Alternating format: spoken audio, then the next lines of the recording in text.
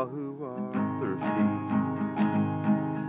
all who are weak, come to the fountain, dip your heart in the stream of life, let the pain and the sorrow be washed away.